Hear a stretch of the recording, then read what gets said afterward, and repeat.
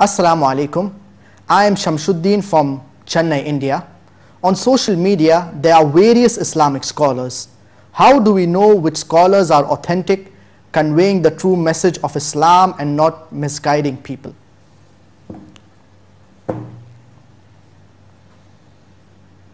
Before I respond to your question, I would like to mention a few important points. I would personally like to divide the Muslims into five categories. The first are those people who have no knowledge of Islam or very little knowledge of Islam. And these people, they do not know the things that are fard, that are compulsory in Islam, and they do not know the things that are haram, that are prohibited in Islam.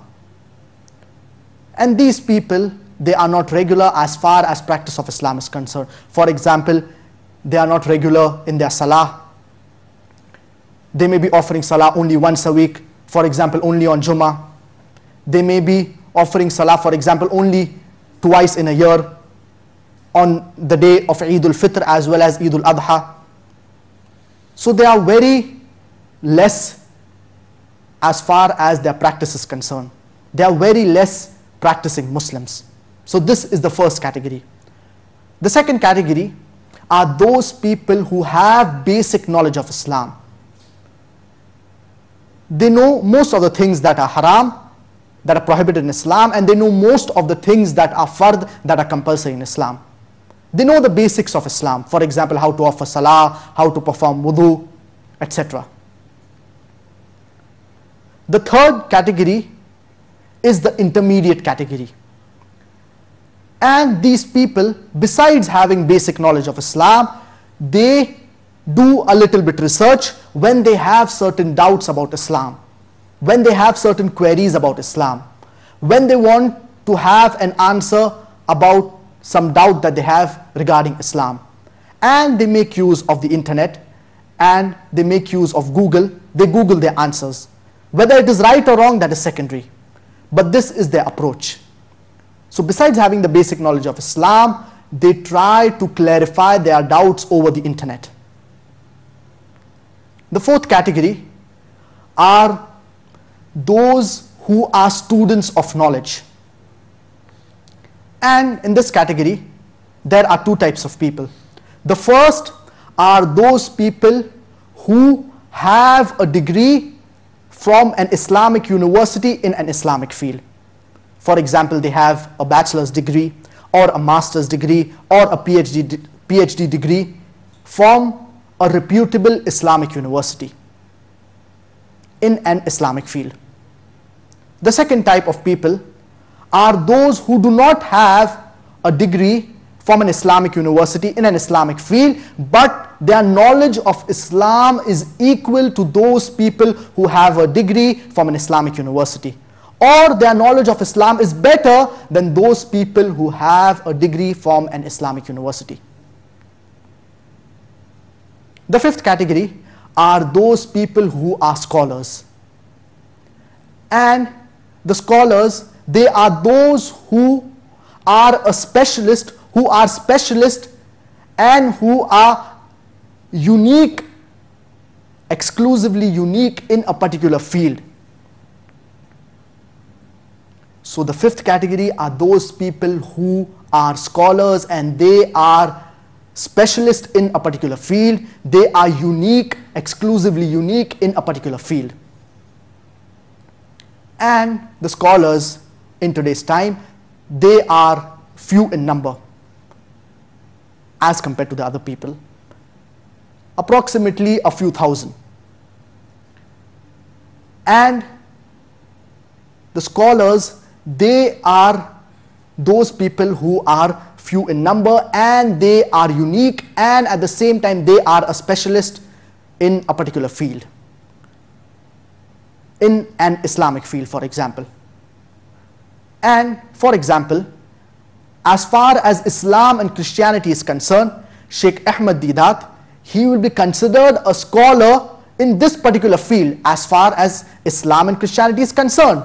He will be considered as a scholar. He's an expert when it comes to Islam and Christianity, when it comes to doing dawah to the Christians. Similarly, Sheikh bin Baz, he would be considered a scholar as far as fiqh is concerned. He is a scholar, he's unique, he's a specialist in this field. So the fifth category are those people who are scholars. The majority of people among the Muslims, they fall in the third category. That is the intermediate category. So the majority of the Muslims, they fall in the third category that if they have any doubts regarding Islam, they try to clarify their doubts over the internet. And previously this category, that is the intermediate category, it was very small and narrow. Because there was not much advancement and whenever anyone wanted to find something regarding Islam or wanted to clarify their doubts related to Islam, so they would have to go to a scholar, they would have to read books, they would have to search a lot. In today's time, knowledge is easily accessible if a person knows how to search for it correctly and even it is available on the internet if you go to the reputable websites and most of the books are also available the Islamic books that are available on the internet the authentic Islamic books the second largest group is those people who are in the second category that is those who have basic knowledge of Islam they know most of the things that are compulsory in Islam as well as they know most of the things that are haram that are prohibited in Islam. As far as the fourth category is concerned,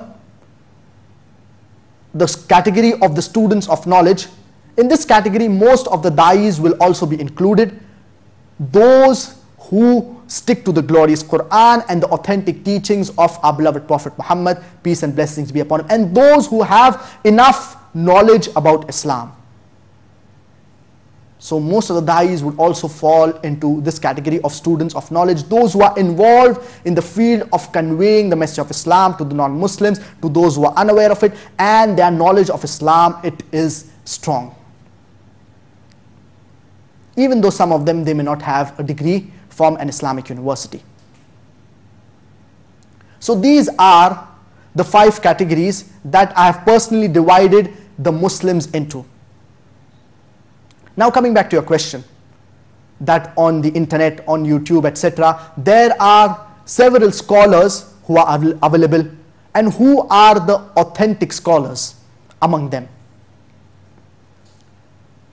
Most of the scholars who are available on the internet, whether it be on social media, whether it be on YouTube, whether it be on Facebook, whether it be on Instagram, whether it be on other Islamic websites, most of the scholars who are available on the internet, they are scholars who speak the Arabic language. They are Arabic speaking scholars, most of them. You will find very few non-Arabic speaking scholars. So if you know Arabic as a language, it is the best.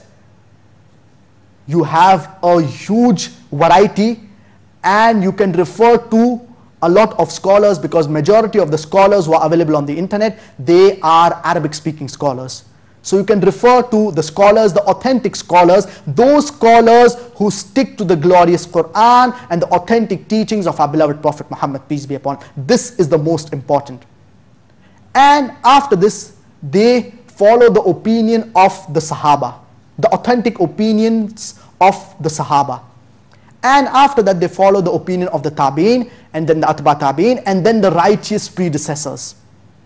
As our beloved Prophet Muhammad, peace be upon him, said, خَيْرُ أُمَّتِي قَرْنِي ثُمَّ الَّذِينَ يَلُونَهُمْ ثُمَّ الَّذِينَ يَلُونَهُمْ The best generation is my generation, then the one that follows, then the one that follows. Talking about the Sahaba, the Tabi'in, and the, and the generation after them.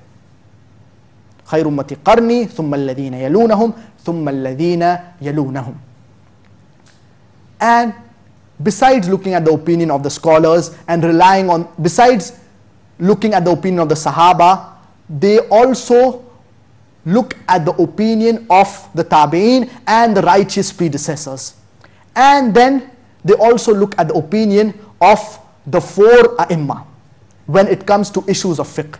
That is Imam Abu Hanifa, Imam Malik, Imam Shafi, Imam Ahmad ibn Hanbal. So you should see to it that the scholars that you refer to, they follow this procedure. They stick to the glorious Quran and authentic ahadith of our beloved Prophet Muhammad, peace be upon him. They, after that, they follow the opinion of the Sahaba, then the Tabi'een, then the Atba Tabi'een, then the righteous predecessors. And if you do not understand Arabic as a language, so then you can refer to non-Arabic speaking scholars. And as I said earlier, there are very few non-Arabic speaking scholars so besides these scholars, you can also refer to the da'is. The da'is who stick to the glorious Quran and the authentic teachings of our beloved Prophet Muhammad, peace be upon him. And they follow the opinion, the authentic opinion of the Sahaba. And then they follow the opinion of the Tabi'in, the Atba Tabi'in and the righteous predecessors. And they also follow the opinion of the authentic scholars. For example, these da'is, when it comes to issues of fiqh, so they rely on the opinion of the authentic scholars. For example, the four madhahib, and then among the contemporary scholars, for example, Sheikh bin Baz, Sheikh Uthaymeen, etc. So it is very important on the internet, you verify the information from, you verify from whom you're taking information. It is very important. Because in today's time we find several people who are, are available on the internet. Certain people are authentic scholars, certain people they are dais. They are authentic dais. Certain people they are laymen. Certain people claim to be scholars but their knowledge of islam it is very shallow and it is very weak so we should not take information that is related to islam from such people.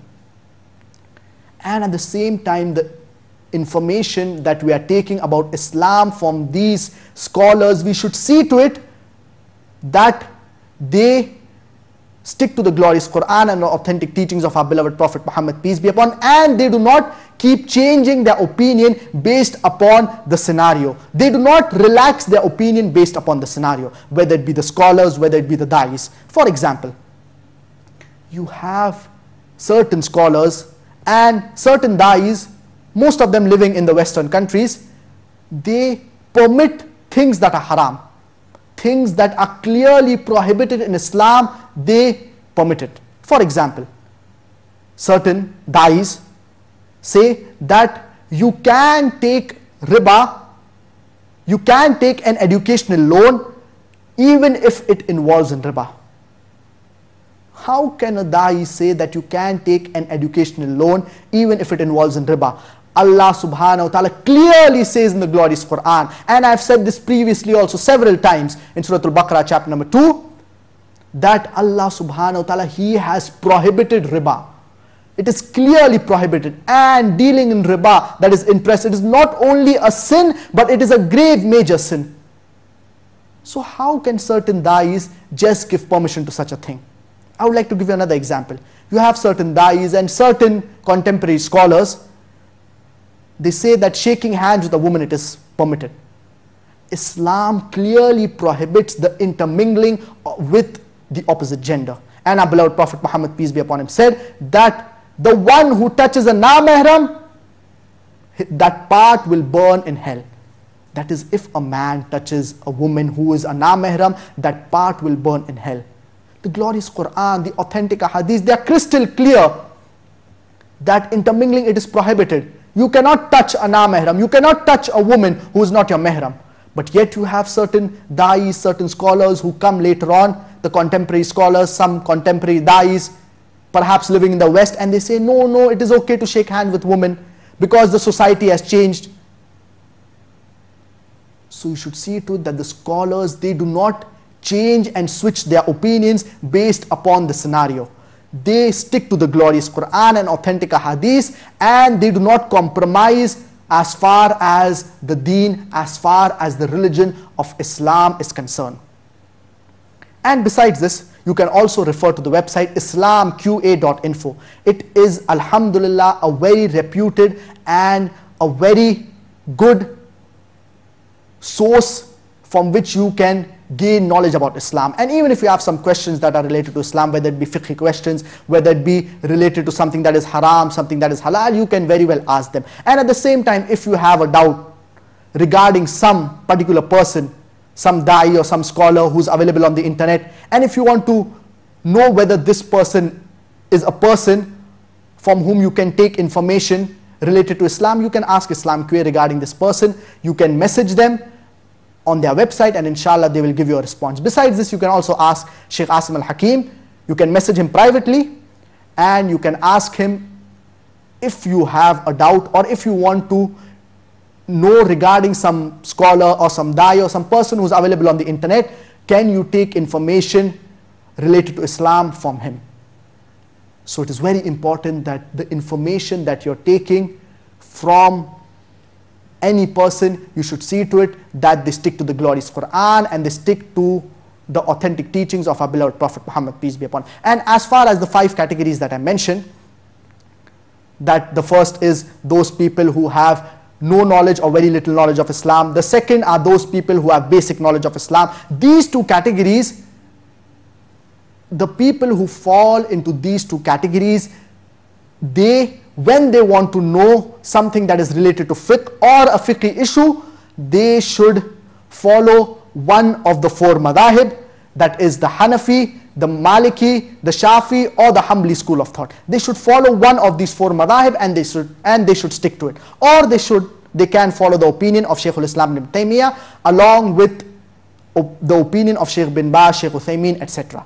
So the people in the first two categories, this is what they should do, follow and stick to the opinion of one of the four schools of thought, thought or the opinion of Shaykh al-Islam ibn Taymiyyah along with Sheikh bin Baz and Sheikh Muhammad bin Salih al-Uthaymeen.